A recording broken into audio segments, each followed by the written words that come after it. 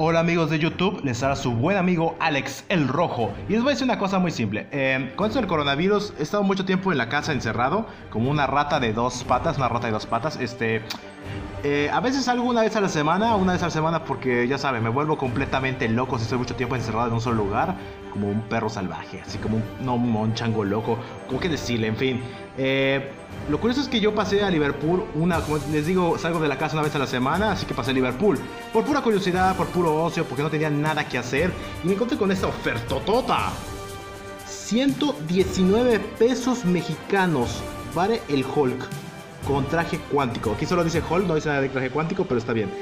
Eh, antes valía 350 pesos mexicanos, pero ahorita lo conseguí al precio de 119 pesos con IVA incluido, claro está según la expresión anglosajónica de la palabra, claro está.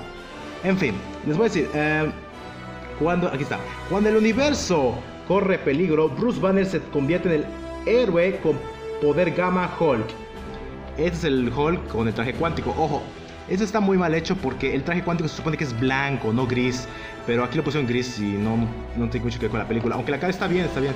Otras figuras de la misma colección está Captain America con traje cuántico, Iron Man y Thanos bastante bien la caja. Como pueden ver, la figura de Hulk mide más o menos unos... Ah, bueno, la regla dice aquí que son unos 12 centímetros. Bueno, es un poco más de 12 centímetros. Si lo tomamos en cuenta de una regla, los 12 centímetros llegan hasta el hombro. Así que del hombro para acá son otros 3 centímetros. Así que 3 centímetros más 12 son un total de 15 centímetros. Así que está pues relativamente bien lo que viene a la estatura. Vamos a decir que tiene 12, 3, 15 A ver si la próxima vez consigo una regla más grande para este tipo de cosas. En fin, eh, tiene articulación aquí en el codo, abajo, hacia arriba y hacia abajo. Muy buena articulación. El plástico está bien. Un poquito suave, pero por el grosor que tiene está bien la mano. Ahora, tiene 360 grados en el brazo. En el codo 360 grados igual. Bastante bien. No hay articulación en el abdomen, ninguna tipo. Pero tiene una articulación de, de bola. Eh, no sé cómo está. Este, ven aquí que tiene esta cosa de la armadura. Pues impide un poco la articulación. Aquí lo pueden ver. Entonces miren, este... Iba a decir 360 grados, pero hasta aquí lo mueve, hasta aquí lo mueve, hasta aquí lo mueve y hasta aquí lo mueve. Porque si lo haces con la fuerza, lo mueves más, pues se va a zafar la cabeza porque esta cosa, como les dije, le va a quitar la cabeza. Porque impide la articulación. Lo vimos en el otro brazo, ya la vimos. Ahora, la articulación curiosa de aquí es que tiene articulación algo limitada en las piernas. O sea, si hay articulación hacia adelante y hacia atrás. Adelante y hacia atrás, adelante y hacia atrás, adelante y hacia atrás. ¿Sí? Ahora, no hay un solo punto de articulación en las rodillas, lo cual está algo mal en cierta manera, pero pues no me perjudica tanto porque esta figura se hizo más para jugar, así que puede lanzar fácilmente una patada voladora así. ¡Toma! ¿Saben? esta figura mide 14, perdón, 15 centímetros. Me puse a pensar, ¿qué otra figura que mida como 15 centímetros está así de musculosa? O sea, así de, está mamadísimo, está mamadísimo. Que sea popular. Y me acordé de esto. He-Man. He-Man es igual, eh, parecido en este aspecto de que mide que centímetros y es musculoso. Solo lo menciono porque me acordé de He-Man.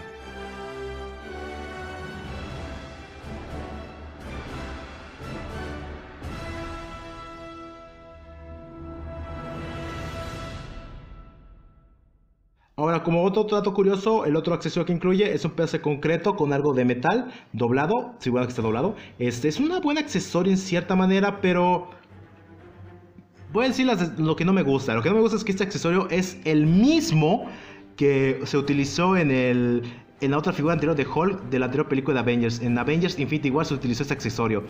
Es lo mismo. Y para colmo y para colmo no tiene nada que ver con la película porque en ningún momento la película agarra esto a simple vista se ve que lo agarra perfectamente bien. Pero pues está bien, está bien, está bien, está bien. No me quejo porque lo agarra bien. Solo que me voy a usar un poquito más delgado la parte donde lo agarra justamente aquí. Pero pues es un detalle pequeño, menor, menor. De un costado podemos observar que tiene en su muñeca lo del, de la, del reloj para viajar al reino cuántico y salir de ahí. Algo que quiero mencionar es que me gusta mucho la cara como lo pintaron y la esculpieron, porque es una cara seria, concentrada, pero de inteligente. Y los ojos están muy bien pintados. El cabello me encanta, está muy bien pintado. Y la A de Avengers está muy bien hecho ahí.